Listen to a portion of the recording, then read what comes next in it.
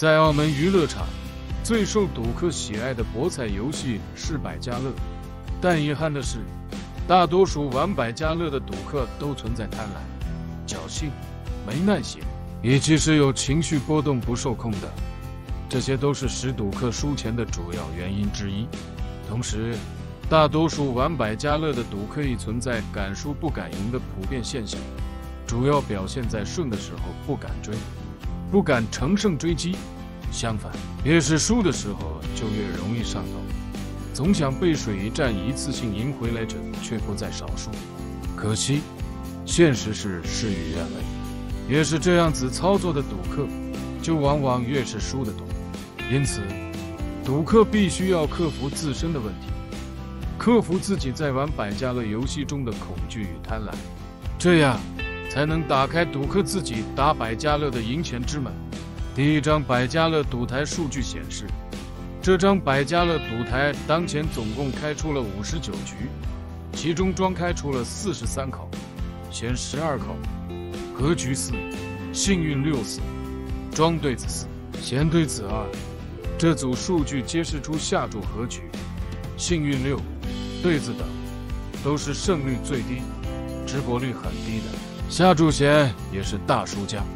数据显示，第一局开出的是庄，庄闲机会各百分之五十。按照全程打庄的下注策略，第一口开出的是庄，给出了庄闲的方向。那么，接下来就每一把都是下注打庄，这样投注显然是大获全胜。第二张百家乐赌台数据显示。这张百家乐赌台当前总共开出了二十一局，其中庄十九局，闲一局，和局一局，没有开出庄或闲的对子，也没有开出幸运六。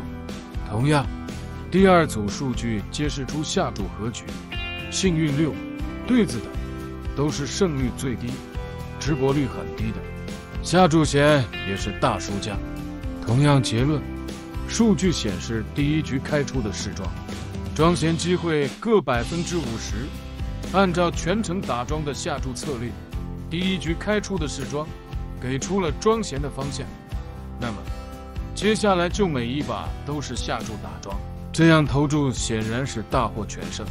我们再来多看一组数据，现在来看第三张百家乐赌台，数据显示，这张百家乐赌台当前总共开出了五十五局。其中庄三十九局，闲十一局，和局五局，庄对子六，闲对子五，幸运六。第三组数据揭示出下注和局，幸运六，对子等都是胜率较低，直博率较低，下注闲也是输家。同样结论，数据显示第一局开出的是庄，庄闲机会各百分之五十。按照全程打庄的下注策略，第一局开出的是庄，给出了庄闲的方向。那么，接下来就每一把都是下注打庄，这样全程下注打庄显然也是大获全胜。如果第一局不是出庄，而是出闲的呢？我们来看看第四张百家乐新台，这张百家乐赌台当前总共开出了十四局，第一局是闲，数据显示。开出的庄是零局，闲有十三局，开出了闲长龙，和局一局，没有开出对子及幸运六。可能是我比较幸运，总是遇到好路。看的赌台越多，统计的数据越多，就更能增强说服力。现在来看第五张百家乐赌台，第五张百家乐赌台数据显示，这张百家乐赌台当前总共开出了三十四局。其中庄开出了二十四局，闲六局，和局四，幸运六六，庄对子零，闲对子四。这组数据揭示出下注和局，对子等都是胜率最低、直博率低的。若不跟第一局下注，也会是最大输家。数据显示，第一局开出的是庄，庄闲机会虽然是个百分之五十。按照全程打庄或全程打闲的下注策略，第一口开出的是庄，给出了庄闲的方向。那么接下来就每一把都是下注打庄，这样投注显然是幸运的大获全胜了。我们继续来看第六张百家乐赌台数据显示，这张百家乐赌台当前总共开出了三十八局，其中庄开出了五口，闲三十一口，和局二，幸运六零，庄对子零，闲对子零。这组数据揭示出下注和局、幸运六、对子等，也都是胜率最低、直博率最低的。数据显示，第一局开出的是闲。庄闲机会各百分之五十，按照全程打庄或打闲的下注策略，这张百家乐赌台第一局开出的是闲，给出了庄闲的方向。那么，按照这个打法策略，接下来就每一把都是下注打闲。从卤蛋可以看到，这张赌台开出了闲长龙，这样投注显然是幸运的大获全胜了。数据不怕多，我们接着往下看。这是第七张百家乐赌台数据。赌台数据显示，这张百家乐赌台当前总共开出了四十八局，庄闲比例稍微均衡一些。其中庄开出了二十五口，闲十九口，格局四，幸运六四，庄对子二，闲对子三。这组数据揭示出下注和局、幸运六、对子等，同样都是胜率最低。直播率低的数据显示，第一局开出的是庄，庄闲机会各百分之五十。按照全程打庄或打闲的下注策略，第一口开出的是庄，给出了庄闲的方向。那么接下来理所当然就每一把都是下注打庄，这样投注显然是庄胜。八九不离十，七七八八，有七八组数据对比就差不多了。那么。我们来看第八张最后一张百家乐赌台的数据情况。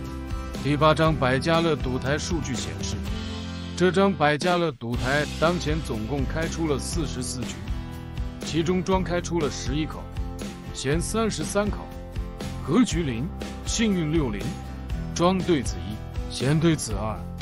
这组数据揭示出下注和局、幸运六、对子等，都是胜率最低。直播率最低的，看到这张赌台显示路单，虽然开出了长龙，但赌客可能要倒吸一口冷气了。按照我们既定的投注策略，如果不贪心赢几把就收的话，还是可以较好的实现。